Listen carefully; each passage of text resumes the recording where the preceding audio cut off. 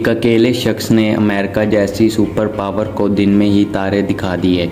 इसने 2013 में अमेरिका के 10 लाख से ज़्यादा टॉप सीक्रेट डॉक्यूमेंट्स चुरा कर उनको दुनिया के सामने खोल कर रख दिया। और तब से लेकर पिछले 11 सालों से ये अमेरिका का मोस्ट वांटेड क्रिमिनल है। लेकिन अमेरिकन गवर्नमेंट का इतना नुकसान करने के बावजूद आज दुनिया में इसको हीरो की नज़र से देखा जाता है, लेकिन आखिर क्यों? दुनिया की टॉप सीक्रेट एजेंसी के डॉक्यूमेंट्स इसने कैसे चुराए और उनको लीक किया? और इस सब के बाद भी ये अमेरिका की गिरफ्त से कैसे बचा हुआ है? 145 फाउंडेशन की वीडियोस में एक बार फिर से खुश आमदीद नाजरीन 6 जून 2013 की सुबह का सूरज अमेरिकन गवर्नमेंट पर बहुत बड़ी मुसीबत लेकर आया। होता यूँ है कि द गार्डियन और द वाशिंगटन पोस्ट पे खबरों की एक सीरीज़ पब्लिश होती है, जिसमें एनएसए यानी नेशनल सिक्योरिटी एजेंसी के टॉप सीक्रेट डॉक्यूमेंट्स का कच्चा चिट्ठा मौजूद था। डॉक्यूमेंट्स ने न सिर्फ़ अमेरिकन बल्कि पूरी दुनिया के मोबाइल यूज़र्स को हैरत में मुबतला कर दिया। जब उनको ये मालूम पड़ा कि अमेरिकन गवर्नमेंट चुपके से हर मोबाइल यूज़र पर नज़र रख रही है। इन डॉक्यूमेंट्स में एनएसए के सीक्रेट प्रोग्राम प्रिज्म को एक्सपोज किया गया था। एक ऐसा सीक्रेट प्रोग्राम जो यूएस गवर्नमेंट को गूगल, एप्पल और फेसबुक जैसी कंपनीज़ के ज़रिए पीछे के रास्ते से किसी भी यूज़र के प्राइवेट डेटा तक रसाई देता है। इसके अलावा इनके पास एक सीक्रेट कोर्ट ऑर्डर है, जिसके ज़रिए वो करोड़ों वराइजन कस्टमर्स का डाटा भी एक्सेस कर सकते हैं। वराइजन अमेरिका में मोबाइल ऑपरेटर है, जैसे पाकिस्तान में यू फ़ोन इसके बाद लीक किए गए डॉक्यूमेंट्स में प्रेसिडेंट ओबामा की तरफ़ से लिखा गया 18 सफ़ों का एक मेमो भी मौजूद था। जिसमें ओबामा इंटेलिजेंस ऑफिशल से बैरून मुल्क टारगेट्स की लिस्ट मांग रहे हैं, जिन पर साइबर अटैक करना है। और ये तो सिर्फ़ लीक डॉक्यूमेंट्स की शुरुआत थी। नेशनल सिक्योरिटी एजेंसी ने हांगकांग और चाइना की मिलिट्री के कंप्यूटर्स हैक किए। एंजिला मार्कल का फ़ोन टैप किया, जो उस वक्त जर्मनी की चांसलर थी। British Government Communication Headquarters GCHQ अपने शहरियों पर नज़र रखने के लिए एक प्रोग्राम चला रहे थे और लीक डॉक्यूमेंट्स में एनएसए और जीसीएचक्यू की बातचीत सामने आई। जिसमें दोनों अदारे तरीके ढूंढ रहे थे कि कैसे लोगों को धोखा दिया जाए प्रोपागेंडा किया जाए और सोशल मीडिया के ज़रिए कैसे लोगों पर अपना असर और रसूख रखा जाए। शुरुआत में तो किसी को भी मालूम नहीं था कि ये डॉक्यूमेंट्स किसने लीक किए क्या ये वाकई सच्चे भी हैं या नहीं। क्योंकि न्यूज़ एजेंसी अपनी खबर का सोर्स बताने की पाबंद नहीं होती, लेकिन इसके ठीक तीन दिनों के बाद एक शख्स सामने आता है, जो इन टॉप सीक्रेट डॉक्यूमेंट्स को लीक करने की ज़िम्मेदारी लेता है। ट्वेंटी ईयर्स का एडवर्ड स्नोडन, जो कि एक हाई स्कूल ड्रॉप आउट था, उसने अपने कैरियर की शुरुआत यूएस मिलिट्री से की। लेकिन एक साल के बाद वहाँ से डिस्चार्ज होकर 2005 में मैरीलैंड यूनिवर्सिटी का सिक्योरिटी गार्ड लगा। एडवर्ड स्नोडन बेशक ही पढ़ाई में अच्छा नहीं था, लेकिन इसकी कंप्यूटर स्किल्स इतनी मज़बूत थी कि सीआईए ने इसको जॉब पर रख लिया। सीआईए के साथ कुछ साल बिताने के बाद 2009 में अमेरिकन टेक ज्वाइंट डेल ने इसको हायर कर लिया। डेल के पास उस वक्त नेशनल सिक्योरिटी एजेंसी के कंप्यूटर सिस्टम्स को अपग्रेड करने का कॉन्ट्रैक्ट भी था। तभी उन्होंने एडवर्ड को भी उसी प्रोजेक्ट पे लगा दिया। यहाँ पहले इसका रोल सुपरवाइजर का था, बाद में वो साइबर स्ट्रेटेजिस्ट बन गया। यहाँ तक तो एडवर्ड स्नोडन सीआईए और एनएसए के लिए हीरे की मानिंद था।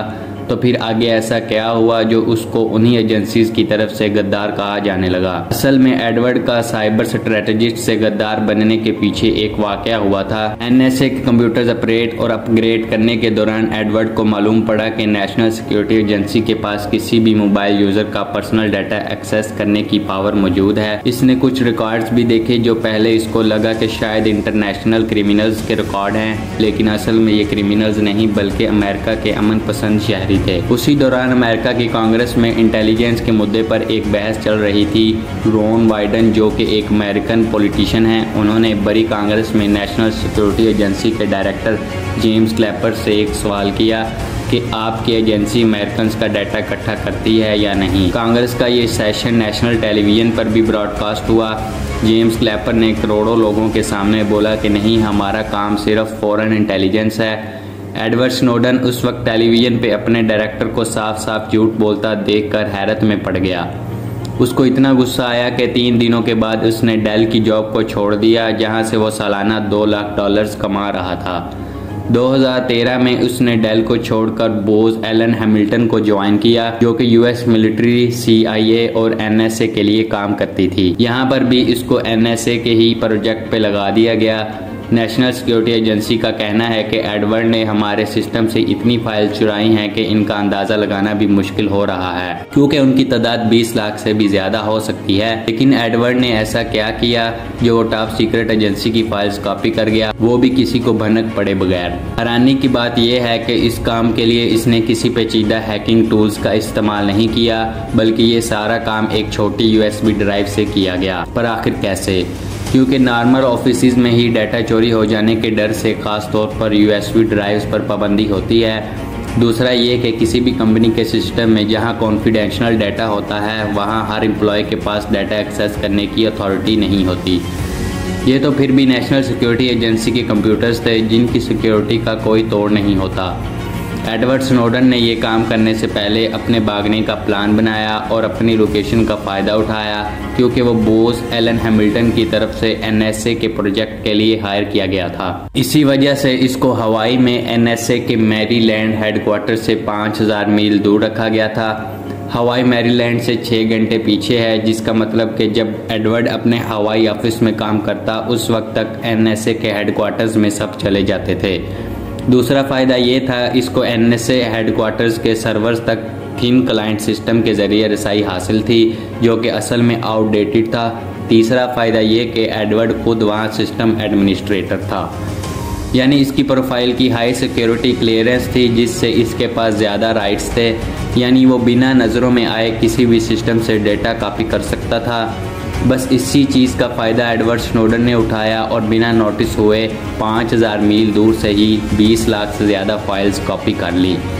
हवाई ऑफ़िस में सिर्फ़ चार हफ़्ते काम करने के बाद एडवर्ड ने एनएसए के करतूत दुनिया के सामने लाने का फैसला किया। इसने तमाम डॉक्यूमेंट्स यूएसबी ड्राइव में कॉपी किए।